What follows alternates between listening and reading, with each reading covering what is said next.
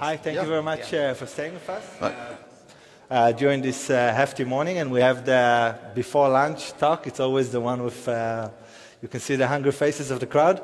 Uh, but we're still hungry a bit for some blockchain. I think I'll, I'll let each of our speakers to have a chance to introduce themselves. maybe we'll start, yeah. Bas, you already had a chance to introduce yourself before. Michael, would you be the first one to introduce yourself and also the company you're currently representing? Sure.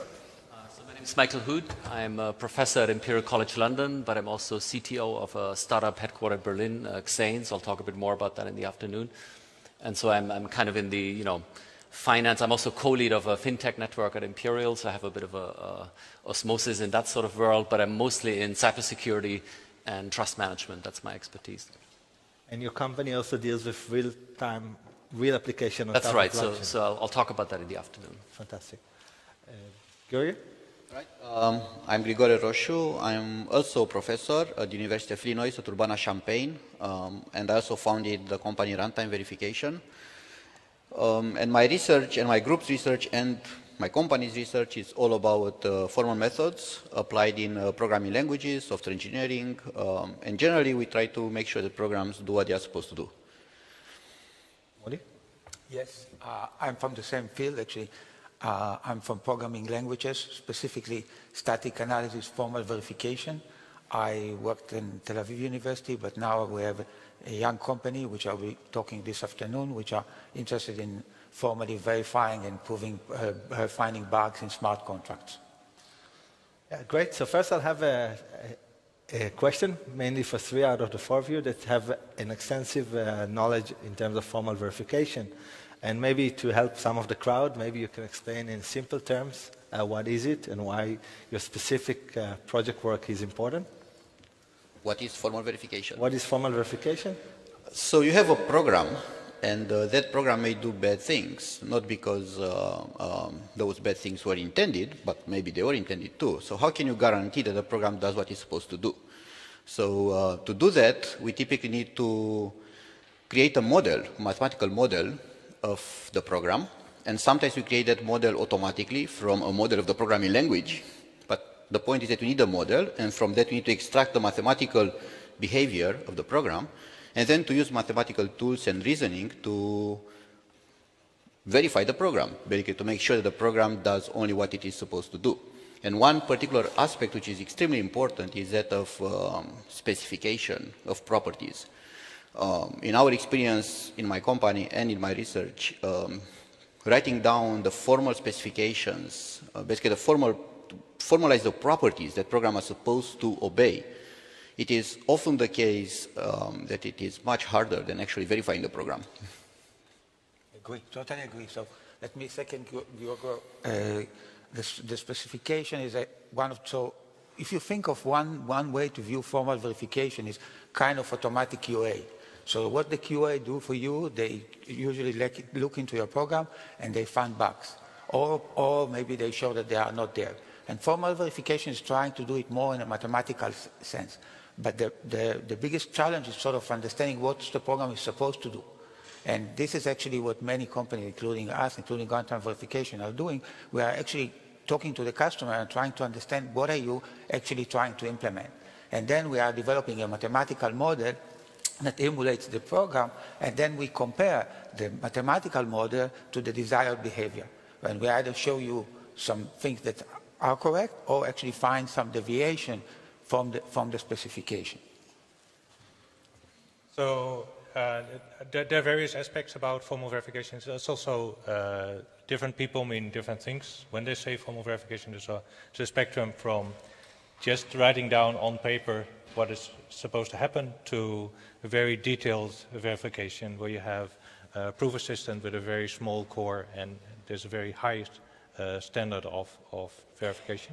What's different in our project from some of the other uh, companies doing it, we, are in the luxury position that we can actually design the, the smart contract language ourselves and we have chosen a, a, functional smart contract language. So there's a whole class of bugs that doesn't show up. And, and we've done the same thing as what Cardano has been doing and what Tezos has been doing. So you, you, see a shift in the third generation of blockchains towards uh, smart contract languages with a functional core. So there's a lot of bug finding you don't need to do anymore. And then there's still a lot of work to be done to actually specify what a program is supposed to do. And what we want to, want to have done is to have the whole uh, uh, implementation check uh, stack of the blockchain to be verified. So consensus protocol, the execution layer, the smart contract uh, languages, we want to prove all kinds of things about the languages. And then about, about the individual uh, the individual contexts themselves. And there have been horrible accidents on the blockchain already. And this is an area where formal verification is crucial because these errors show up in uh, programs about a thousand line of code, but you lose something like 50 million euros uh, by bugs in those, uh, those contracts. So this is for people coming from formal verification, this is an ideal place where our methods actually, so, so this is what has been waiting for us where we can make our methods uh, effective. Yes, so as uh, Bas mentioned, uh, there are a couple of famous uh, cases of uh, being rubbed on a blockchain in simple terms. I mean, from the DAO hack, which is, might have been the early one, that led to the, to the hard fork of Ethereum, to more recently with Parity and others. but you mentioned, how do you find this specification that you mentioned? And uh, in terms of what is it that we should formally verify. And even if you take it a step forward, if you have, of course, you cannot formally verify everything. So how can you ever be happy in a world like that? And again, taking into the context of we are part of a fintech, and eventually in fintech, like Silvia mentioned earlier, it's billions going to be mentioned on it. How can we ever be happy? And please, Michael. Yes, I, I could maybe say a few things about this. I mean, I, actually started a career in formal verification, so I, I, kind of know that world quite well. Yeah, but but from a business perspective, I think this is exactly the point. You know, so it might make sense to take a core piece and do a, a huge effort in terms of money to formally verify this, like the microcontroller that they did in Australia yeah, for for certain applications. However, this doesn't really scale for mainstream programming and so on, right? So so I think here we need to have a way of looking at these uh, formal methods contributions within a risk management context of my product, right? So I have to be able to decide where is it most critical for me to actually invest this kind of money and those resources to, to put this there. Yeah? And so clearly, you know, if I have a, a layer one, like uh, Silvia was saying about atomic swaps, I want to make uh, very, very sure that this is, is going to work, yeah? because this is where the, the, the, the crown jewels are going to sit. Yeah? Whereas if I had some more mundane thing on my fringe, uh, I can assess the impact of this going wrong. And if that's below a certain threshold from my business development point of view, I'm not going to do formal methods. So just to, to clarify, I think you, you're absolutely right that formal that functional programming allow you to avoid some bugs. In fact, we use formal verification in our tools. But even with formal, with functional languages, you, at the end of the day, the DAO bug, actually, we can prove it that it doesn't exist in, in, a, in, an imperative language, and we can prove it exists in a functional language. So at the end of the day, if you are working in a Turing-complete language, and you are working even in a language like ML, you can have severe bugs. And in fact, the, the, the, proving the absence of bug or, or, finding them could be equally hard in imperative or functional. It's true that in functional programming, perhaps if you have good discipline, you avoid them. But from a formal verification perspective, when we have customers and they have tokens and they have to make sure it's correct and they ask us if we move to the functional uh, programming, will it, will it still exist? And the answer, is yes, it will exist. And people make mistakes, and people, I, we can show you in, the afternoon, I'll show you mistakes actually people in, in, with PhD in computer science are making in this space. And if they move, and they are actually, they are Haskell programmers, by the way. It's not an issue of what, I mean, it's Haskell programmers are probably better programmers for to speak, to speak. But they make mistakes as well. And, and, and we are trying to avoid mistakes, and we're trying to avoid mistakes with bad consequences. Were, this is where specification comes into play. Uh, so uh, it's true, you're pushing functional programming, but even in Solidity, you can write a decent program. It's true that Solidity is perhaps a bad language, but you can write a pretty de decent program in it. And even in ML, you can write a terrible program, and I have, I have done that. so, So actually, to follow So up, to- Greg, you? to- So, so I, I don't know whether you were talking to me or to, To my. you, to you. Okay. Uh, Yes, so, sorry. so. Uh, sorry for not being uh, Not, not to me, because uh, No, no, we are, we are very similar. Uh, so, so my background is in is, is, Functional is, is- no no no my, my background is in formal verification. I've I've u- written huge uh, developments in the, the Coq theorem prover. Uh, I was just saying that in, in our project and in the Tezos and the Cardano project, we, we have had this luxury to be able to design our smart contract language. So there's a lot of things we don't need to check anymore. Of course, there's still an awful lot that we still need to prove, and, and I'll, I'll speak about this in the afternoon. Uh, Greg, or you also? So, um, yeah, you asked when are you happy with the specification? And also so we are happy when the customer is happy. Uh, so we have answer. lots of, as, as, as Mooly said, we have uh, lots of discussions with the customers, trying to figure out what they had in mind when they wrote the code. They typically have a page or two of uh, English. Uh, and they think that everything is crystal clear there, but then as we start asking questions, we realize that things are not that clear. For example, what happens if you transfer money from yourself to yourself? And we found bugs in such situations. They said, why would you transfer money from yourself to yourself? Because I can, and if I can print money that way, I will do it. um, so you have to actually look at all these corner cases, and, um, and, um, and uh, we pretty much separate the formal verification process in two steps, where the first one is to agree on the specifications, um, even informally, but informally but kind of formal specifications, without showing them our formalism, but to understand that that's what they wanted.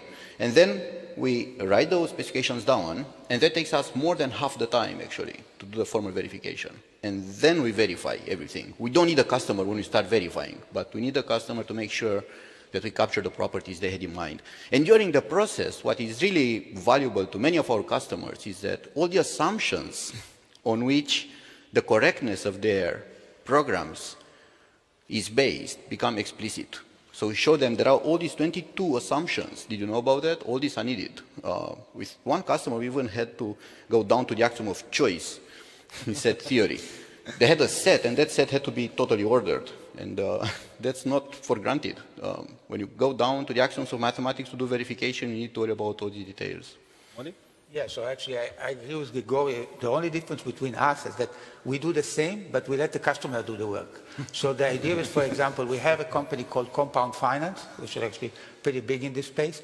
So when we started, we do the same.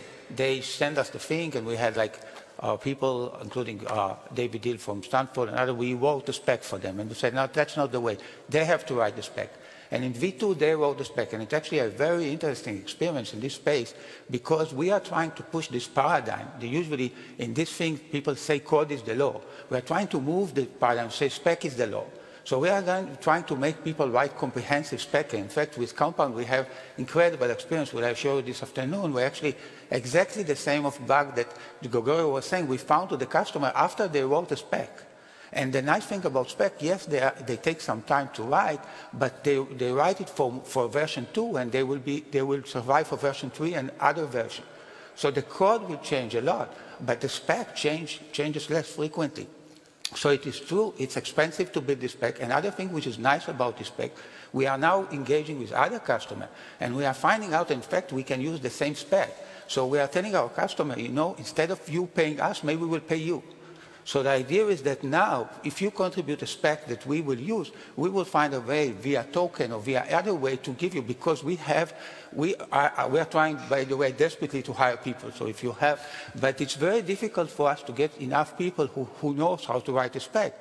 But interestingly, in this space, we are finding more and more people who are willing to write spec. And yes, occasionally they write wrong spec and we review that. But they actually understand this space very well. I'll show you this afternoon that they came with, with specs which are, I think they are interesting in, in the sense that they, they actually represent interesting facts about the space of, of cryptocurrency. So we, we heard about atomic swap, but there are actually more interesting things that we can come up. And once you have these specs, you can check them. So we are actually thinking, and we, we, one of the things that we are contributing is a spec language, which emulating things like even going back to VDM, which was invent, invented in Denmark. But it's this idea that we can have now the spec that people write, uh, people, pe people, engineers can write their spec, not us, hopefully. Yeah. Thanks, Mooly. I'll give you a public address if you want to contribute to, to my private one. uh, but back to you, Michael, uh, from an application point of view, because it sounds almost grim discussion a little bit about how difficult it's actually uh, to work on the blockchain. What is your experience on the other side, and how do you think can we actually expect adoption from a practical? Yeah, it's a tough question. I mean, in a way, so I have some experience in like automotive and IoT mobility and so on with real clients. Um, and there it's a bit tricky because, you know, if you work, say, with an innovation department, this is more sort of a PR exercise. They have their separate sort of budgets, you know, so they just want to play with these things, understand them, and maybe then project them for their PR. Uh, that's maybe not too interesting.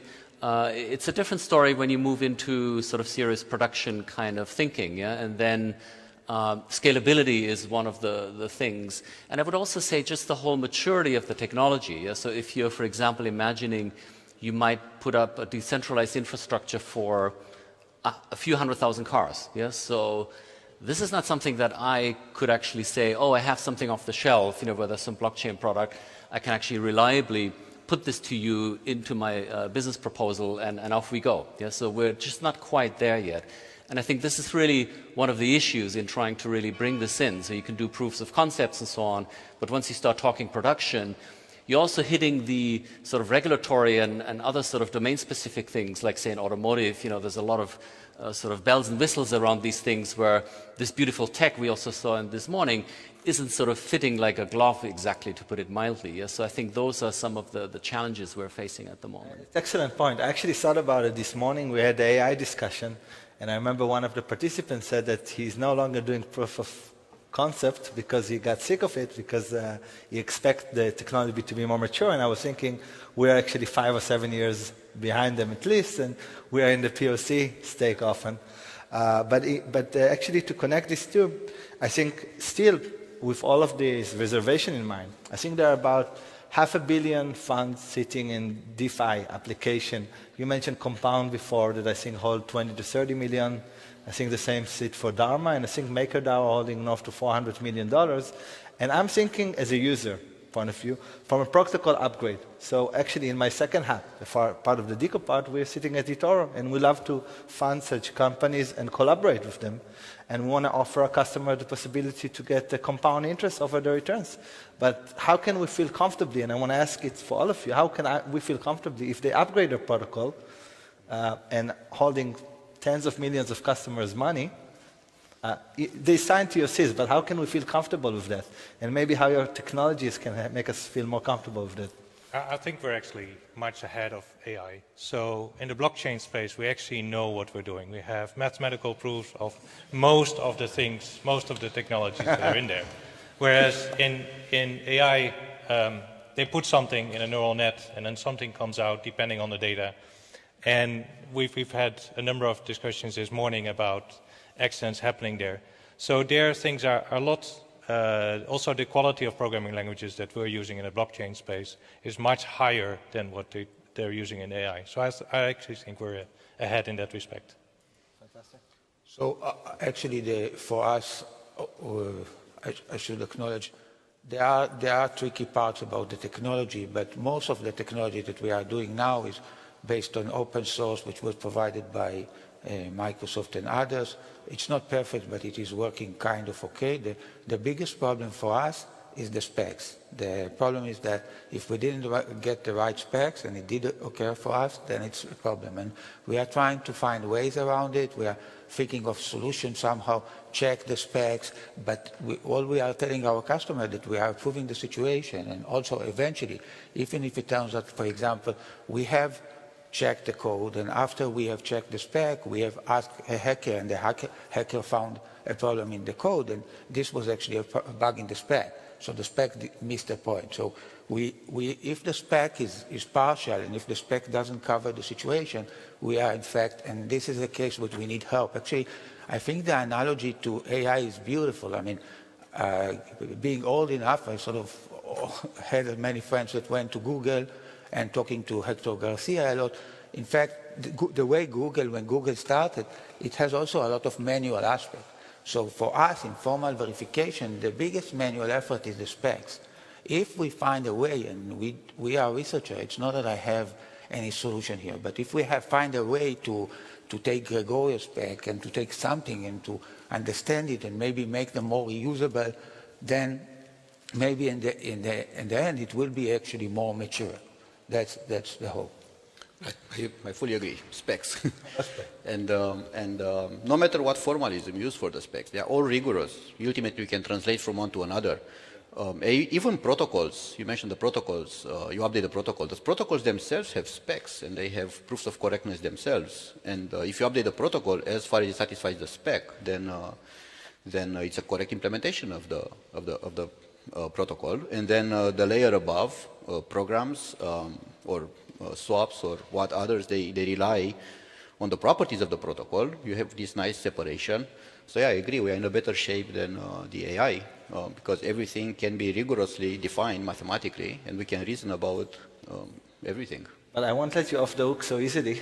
Uh, no, it's not easy. I'm not, no, I'm not trying to make it easy. I, I, I, I don't, mean it's easily. I mean, so off the hook. It is possible. It is possible to do it. It is possible, but let's look at a and comparison. it's, in, it's within reach as well. We have the tools. Um, so we're talking about on-chain in a fully, hopefully, or semi-fully decentralized network. We're holding serious funds right? If an AI is used, even if it's less rigorous, if AI is used within a centralized mechanism, say a banking sector, um, and a mistake is happening there, maybe the severity of that mistake is less severe than what happened in a fully decentralized way. you cannot revert it.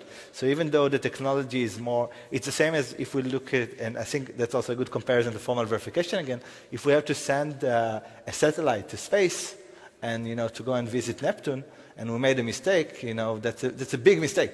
if we make a mistake in uh, the user interface of some web page, you know, maybe they would live with it.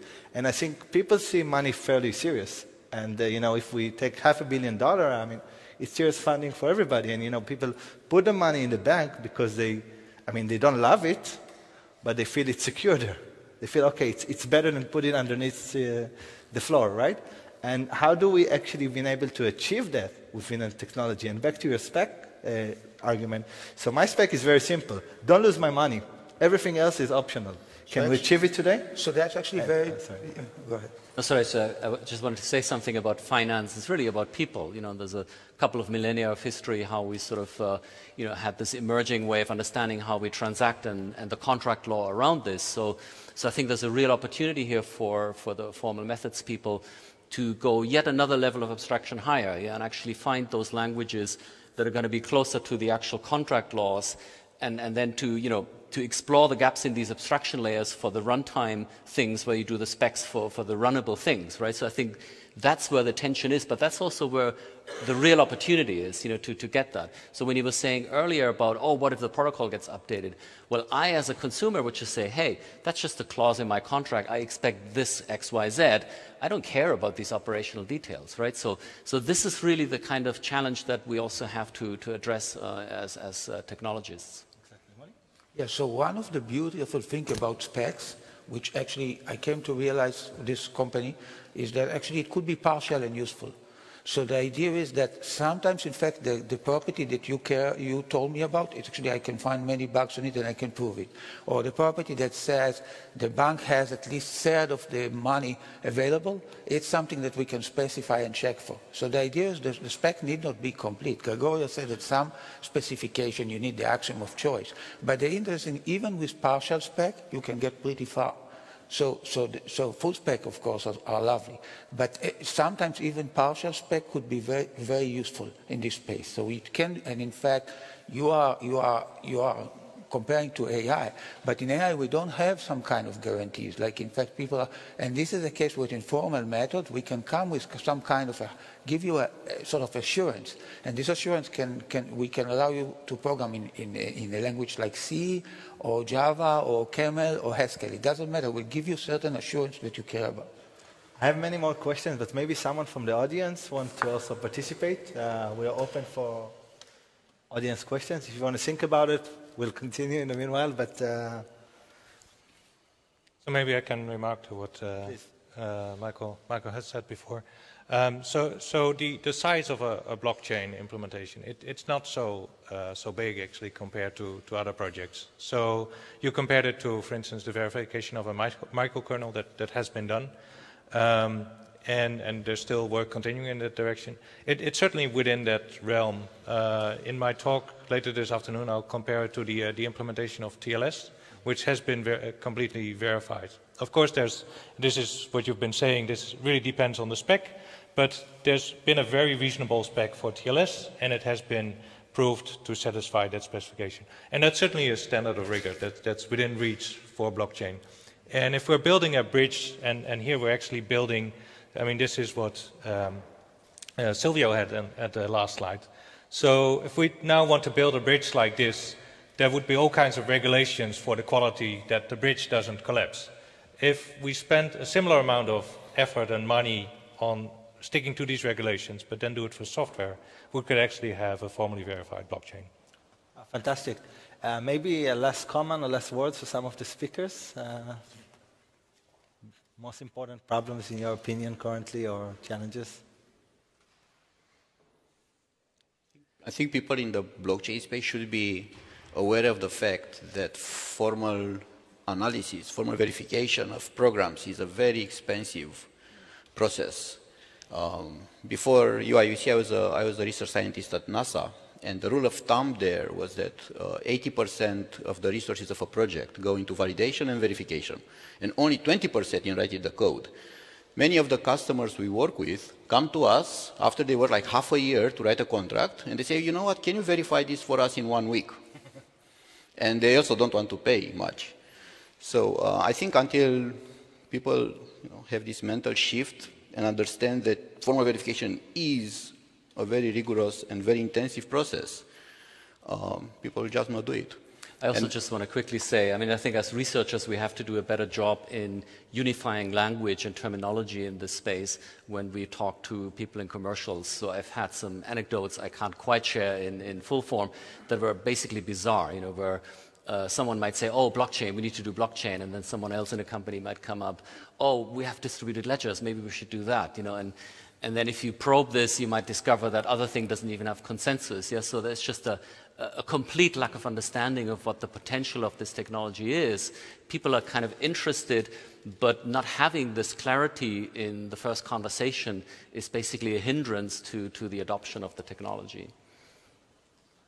Yeah, uh, I can say that for me, the biggest fun part about working in this space, apart from the fact that I find it to be you know, the biggest transformation, and I think that was also mentioned by, by Silvio, I, I find the most interesting one is by transforming the current markets, you know, not the current 200 billion markets blockchain world, but the, you know, 300 trillion dollars market and move it to be completely decentralized. But the fact that both academia and the industry are really combined in a very nice way. And uh, actually, a lot of the work we're doing on the industry is very research-wise, and I'm sure that's why there are a lot of us which are doing both things together. Uh, and I'm really looking forward for your conversation this afternoon to really learn more in details about your case studies, and maybe we'll give a hand for the speakers. And